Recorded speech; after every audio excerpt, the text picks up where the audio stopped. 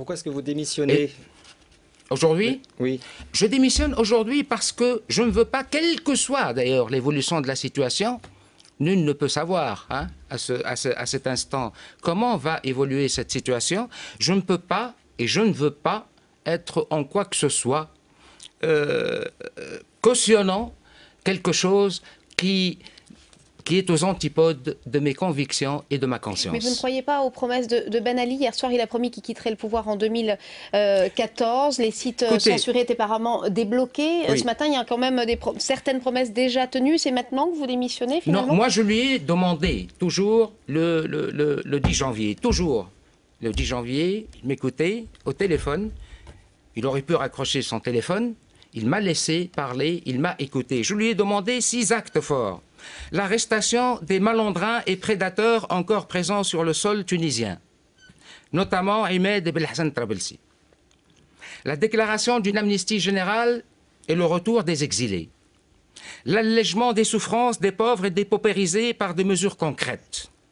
L'autorisation d'entrer en Tunisie de tous les correspondants des médias la mise en place d'une caisse d'allocation chômage dont le financement pourrait se faire par la contribution de ceux qui se font, qui se sont suffisamment enrichis pour donner maintenant aux pauvres et aux chômeurs. Et enfin, l'abolition de la peine de mort en Tunisie. Vous allez me dire, mais qu'est-ce que ça vient faire là-dedans? C'est quelque chose à laquelle je suis profondément attaché depuis 2000. Oui, l'abolition de la peine de mort que je n'ai cessé de vous demander depuis 2000. Lui, lui, lui, je lui ai écrit que vous étiez sur le point de réaliser en 2001, après l'étude que je, je, vous ai remise en, ce moment-là. Monsieur Haddad, est-ce que votre vie est menacée aujourd'hui? Non, je, je, écoutez, je suis, je suis, je ne suis pas fataliste, mais je suis un, homme qui, qui, qui affronte son destin, quel qu'il soit. Mon vœu, c'est que la société tunisienne sache et fasse attention à ce qu'on ne la prive pas de ses, euh, revendications et de le type de société et de régime politique dont elle rêve. Je veux dire par là qu'il ne faut pas du tout, et ça, ça restera de toute façon mon combat, le combat contre l'intégrisme.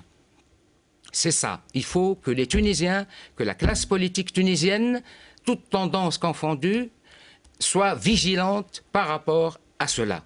Je ne veux pas que la Tunisie bascule dans l'intégrisme. Il faut qu'elle bascule dans la démocratie.